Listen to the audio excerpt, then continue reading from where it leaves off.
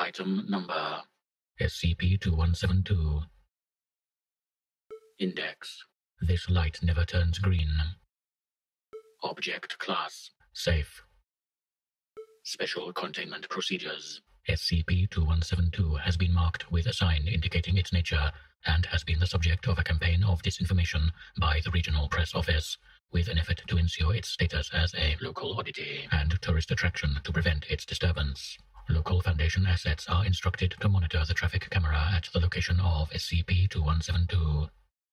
In the event SCP-2172 turns yellow or green, or any attempt is made to disturb it, Local Mobile Task Force 352 Dalet Dixieland Nightmare Magic is tasked with immediate investigation and revision of containment procedures if necessary.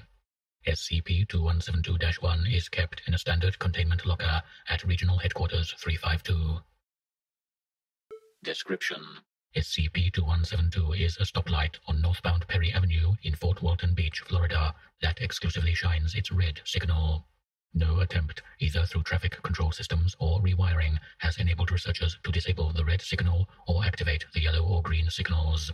SCP-2172's signal shines regardless of powered status, and removing SCP-2172 from its place at the intersection of Perry Avenue and US 98 causes a sharp and immediate drop in localized reality levels, which remains until SCP-2172 is returned to hang at the intersection. Note See attached document Region 352 Dalet Human Readings 0700 EST September 16th 2004 for an example of the effects of the last beacon disturbance event when SCP-2172's line was severed by high winds during the landfall of Hurricane Ivan. SCP-2172-1 is a Field Notes brand 64-page notebook, gray in color recovered from the home of Warner Davis, a deacon in the Catholic Diocese of Pensacola, Tallahassee, after his death by suicide. SCP-2172-1 contains a marking of Deacon Davis's blood, and, on the adjoining page, a message written by him. Asmode, with this blood I seal our pact. May my soul be yours in the second circle, and in exchange grant my order an eternal flame, a never extinguished light, ensuring the victory of the Vatican in all wars. Warner Davis.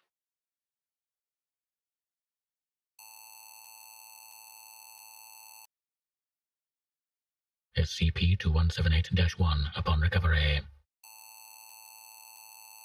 The date of Deacon Davis's suicide is concurrent with the first recorded manifestation of SCP-2172's anomalous properties in 19... Addendum. After an extensive internal debate, the Foundation began the pursuit of testing SCP-2172's potential secondary effect. After over four years of negotiation with the Horizon Initiative and the governments of the Holy See and Eswatini, a test has been arranged in the Vatican for December 1st, 20. During the test, Swazi King will declare war on Vatican City. He and Pope will immediately attempt to sign a peace treaty ending the war, with no terms beyond an admission of defeat by the Holy See. The success or failure of this attempt will indicate whether SCP-2172 has any impact on the Vatican's capability to lose a war. Notes. Debated documents by Evans Nathaniel. Holy War. We can't test papal infallibility, but we can test Vatican invincibility. Theography. NSCP Foundation Journal, 2013. 558. Eswatini was selected for its strong governmental connections with the Foundation and its status as an absolute monarchy, making the process of officially having the nation declare war require limited coordination.